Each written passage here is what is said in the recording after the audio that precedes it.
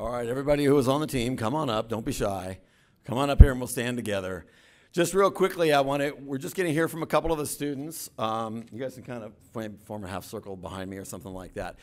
Uh, you know, I think I maybe have explained to, to many of you folks, we had this dream of and vision of doing a mission trip to Mexico or maybe to Oakland or something like that, like we've done in the past. And the Lord closed the doors, and we realized, Michelle and I realized that you know every time we come back from one of those trips, we always end up saying, we should be doing this stuff here at home. And the Lord opened the doors and made it clear that He wanted us to do this mission trip here in Sacramento. So we spent the whole week sleeping here in the building, going to a couple of different shower houses each night so we didn't smell too badly.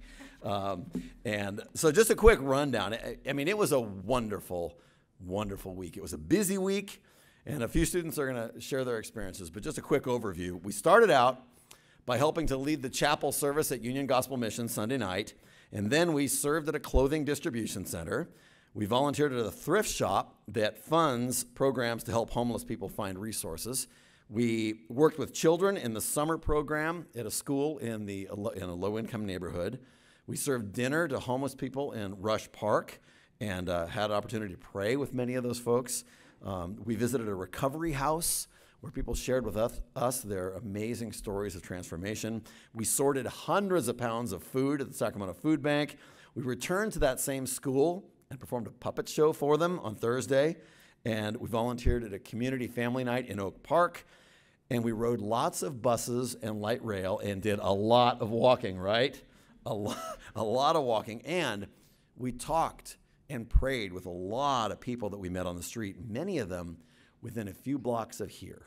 It was really, really awesome. So, first up to share her experiences is Lydia Kang. Lydia? Hi, as you know, I'm Lydia. All right, just want to get that cleared up. All right, on the mission trip, God showed me and others many things. He also worked on my heart. I met this 13 year old boy named Jesse. Jesse had been living on the streets and by himself. He was separated from his dad when his dad went out to find food. When I met Jesse, he really touched my heart. Seeing a teen live on the streets alone and having to provide for himself really made me think how we take a lot of things for granted. During the time with Jesse, a couple of our youth talked to him, um, and he opened up to us. After meeting, a lot of the youth wanted to invite him to youth group. This showed me that it's okay to talk to strangers and open up to them.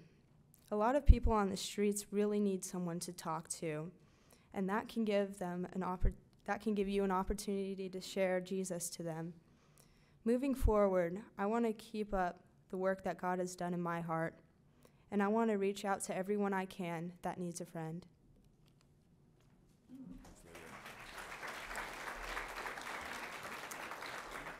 And before we hear from the next student, go ahead and roll that video. We can just kind of have those pictures playing in the background.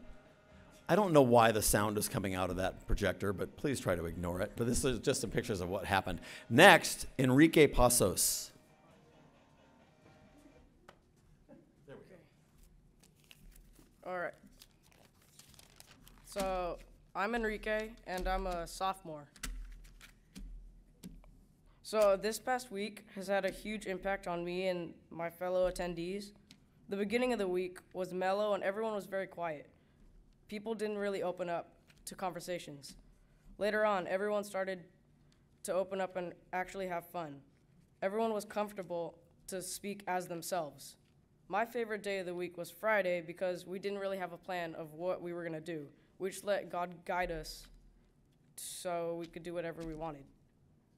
Uh, that day taught me that we can always trust Him no matter where we are or when we are.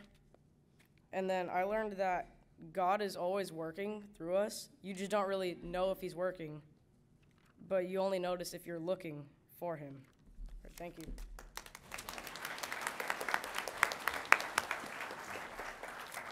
And finally, Noel Gonzalez. Uh, hi, I'm Noel.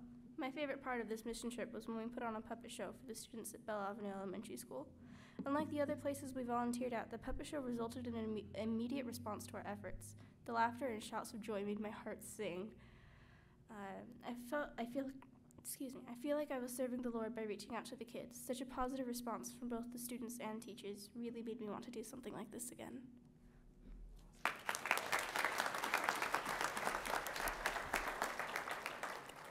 I'm Michelle. I was the other leader with Steve this week. And um, all I wanted to say to you guys is when um, we've been in this building for, um, gosh, about a year and a half, something like that.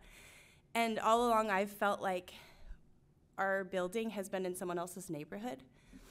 And now, after being out and talking to people in the neighborhood, I feel like this neighborhood is our church's neighborhood. And so that was just a really neat thing that God showed me this week. So. Thank you all for supporting us and loving us. It was awesome. God bless you.